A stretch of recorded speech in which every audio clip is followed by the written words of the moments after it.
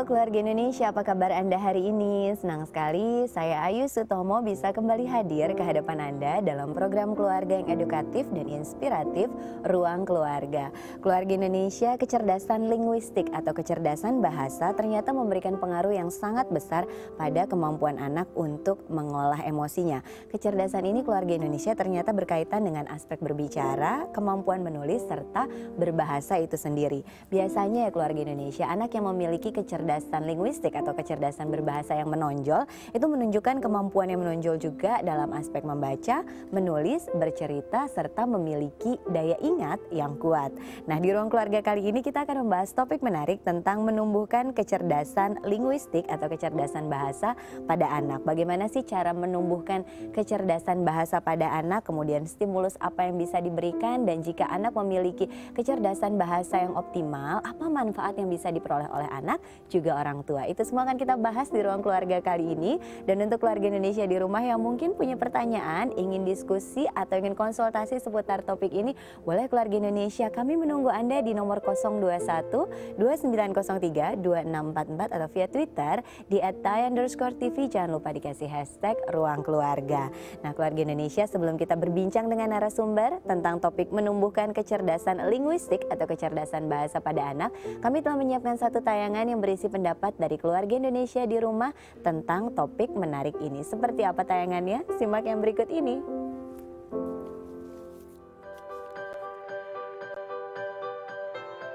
Kalau selama ini anak saya ya seusia itu ya alhamdulillah untuk masalah bahasa dia udah cukup lah untuk seusia dia ya. Ya alhamdulillah waktu anak saya masih kecil dia satu tahun sudah pandai berbahasa ya walaupun uh, dengan bahasanya yang agak cadel gitu tapi dia satu tahun dia sudah bisa bernyanyi gitu. kalau kemampuan bahasa anak saya umur tiga tahun ya. Uh, menurut saya sih sudah cukup lancar.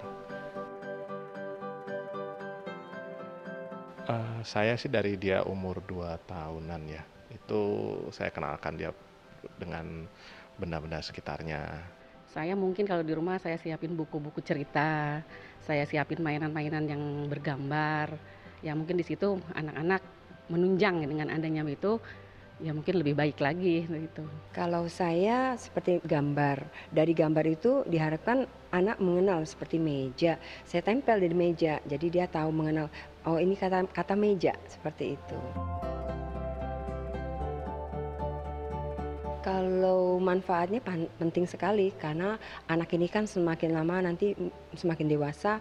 Nah kalau dia ke luar negeri, ke di luar tempatnya uh, di daerahnya itu dia akan bisa beradaptasi. Oh, manfaatnya banyak kalau menurut saya ya. Jadi mungkin dia untuk apa dia lebih percaya lagi, lebih percaya diri lagi ya. Jadi dari kemampuan bahasa itu dia bisa menuangkan idenya atau buah pikirannya ke orang lain dengan lebih runtut, lebih jelas, dan lebih logis serta lebih ringkas.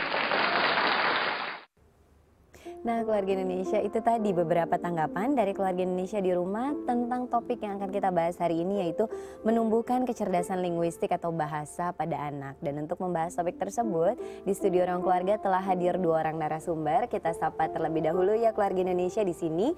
Yang pertama telah hadir psikolog dari Rumah Sakit Grand Family. Ada Mbak Ellen Susilo MC psikolog. Mbak Ellen apa kabar? Kabar baik Mbak Ayu. Terima kasih hadir lagi iya. di Ruang Keluarga dan keluarga Indonesia. Mbak Ellen ini tidak sendirian tapi di studio ruang keluarga juga telah hadir di sini dari Sekolah Seci Internasional. Ada Ibu Karolin Wijanarko. Ibu Karolin apa kabar? Luar biasa. Luar biasa. Terima kasih hadir di ruang Sama-sama. keluarga. Kita bersama-sama akan membahas topik tentang menumbuhkan kecerdasan linguistik atau kecerdasan bahasa pada anak. Sebelum ke mana-mana gitu, ke Mbak Ellen dulu sebetulnya definisi atau pengertian dari kecerdasan bahasa pada anak itu apa sih Mbak? Ya, jadi kecerdasan bahasa atau linguistik pada anak itu merupakan kemampuan seorang anak mm -hmm untuk menggunakan kata-kata secara efektif baik lisan maupun tulisan hmm. gitu Mbak Ayu. Hmm, jadi, jadi bukan hanya kemampuan dia ngomong aja tapi tulisan juga berkaitan ya, dengan betul. kecerdasan bahasa ya. Iya. Oke, nah sebetulnya seberapa besar pengaruh kecerdasan bahasa dengan uh, perkembangan anak?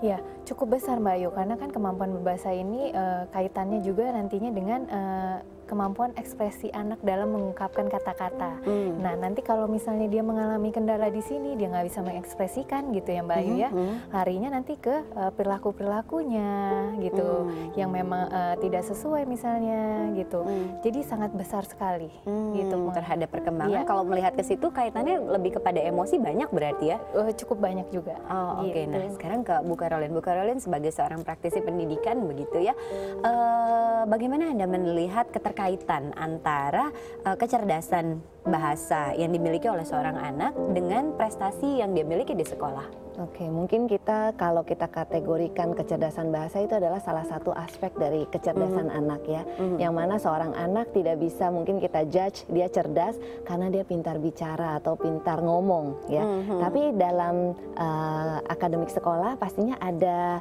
ada pelajaran lain ataupun ada aspek lain yang perlu kita nilai. Contohnya hmm. kemampuan uh, berpikir secara logis, memecahkan hmm. masalah, hmm. kemudian juga bagaimana kecerdasan seni dia, hmm. bagaimana kecerdasan fisik dia. Nah, tapi memang ada kecenderungan bahwa anak yang memiliki kecerdasan bahasa dalam artian dia pandai berbicara, hmm. pandai mengungkapkan uh, isi hatinya atau hmm. mengungkapkan ide ataupun opininya pasti terlihat lebih menonjol daripada hmm. anak-anak hmm. yang lainnya. Walaupun bukan artinya mereka 100% uh, eh, di semua aspek juga akan cemerlang. Hmm, cuma karena memang pintar ngomong, pintar ekspresinya oke, okay, akhirnya terlihat sebagai wah terlihat uh, lebih menonjol. Bersinar nih Bener. gitu ya. Walaupun belum tentu juga lebih cerdas betul, gitu ya Ibu betul, ya. Betul. Oke, nah Mbak Ellen, sebenarnya kecerdasan bahasa ini bisa disimulasi nggak sih? Bisa Mbak Ayu. Mm -hmm. Jadi memang uh, dari sedini mungkin anak ini bisa disimulasi supaya kaya akan bahasa gitu. Mm. Mulai misalnya memberikan mainan-mainan yang mengedukasi seperti misalnya dikasih buku bergambar gitu ya, buku cerita mm. bergambar ataupun kartu-kartu berhuruf huruf misalnya, mm -hmm. terus ke atau mainan seperti kalau yang udah agak lebih besar misalnya Scrabble. Mm -hmm. Untuk anak yang lebih kecil pun sebenarnya untuk nyanyi-nyanyi itu juga memperkaya gitu. Dengan mm. bernyanyi memperkaya anak ini dalam uh, berbahasanya nantinya gitu. Karena oh. katanya juga akan semakin banyak. Oh, gitu. Okay. Nah, kalau di sekolah Seci Internasional sendiri, aktivitas apa yang memang di di uh, setting atau memang di, sengaja dibuat untuk memperkaya kecerdasan linguistik pada setiap siswa? Uh, kalau di sekolah kami sendiri mungkin agak sedikit berbeda karena exposure-nya lebih kepada bahasa asing juga. Hmm. Jadi selain bahasa Indonesia, tentu juga ada bahasa Inggris dan juga bahasa Mandarin. Oh, trilingual berarti. Trilingual, oh, betul. Okay. Nah, dari situ sendiri uh, guru sebagai seorang fasilitator pendidikan pastinya harus merancang uh, berbagai kegiatan untuk menstimulus uh, berbagai macam aspek kecerdasan dari anak. Mm -hmm. Nah, kalau kita lihat dari uh, kecerdasan bahasa bagaimana meningkatkannya? Pastinya mereka belajar dari meniru ya. Oh, okay. Jadi banyak mendengar, uh -huh. banyak meniru, barulah dia sendiri bisa menumbuhkan kecerdasan bahasa tersebut. Uh -huh. Jadi aspeknya sendiri bermacam-macam. Uh, kalau yang pertama yang kita utamakan adalah kemampuan mendengar. Jadi okay. pertama harus mengerti dulu apa hmm. uh, dia mendengar dan dia mengerti apa yang dimaksud. Setelah mendengar barulah dia berbicara.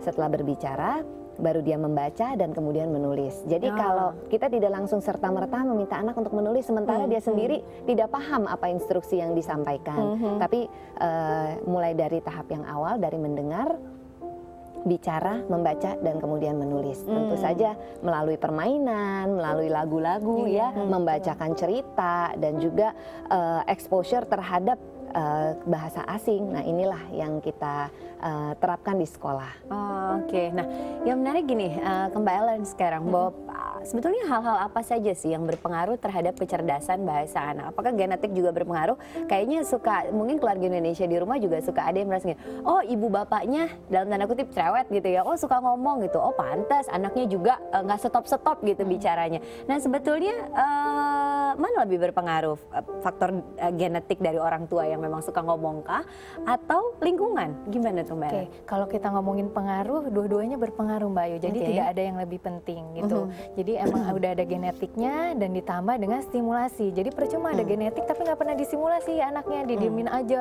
dibiarin main sendiri misalnya, hmm. itu juga tidak akan optimal gitu. Hmm. Begitu pula sebaliknya.